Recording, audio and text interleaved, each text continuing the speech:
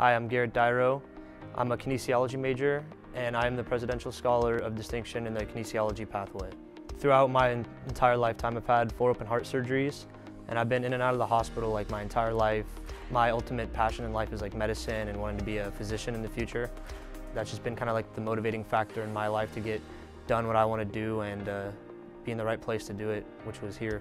Um, I selected Cypress College more so because one of my favorite teachers I've ever had, my honors physiology teacher in high school, who was also a doctor, he kind of recommended it for science purposes and also, I mean, it's just a great school.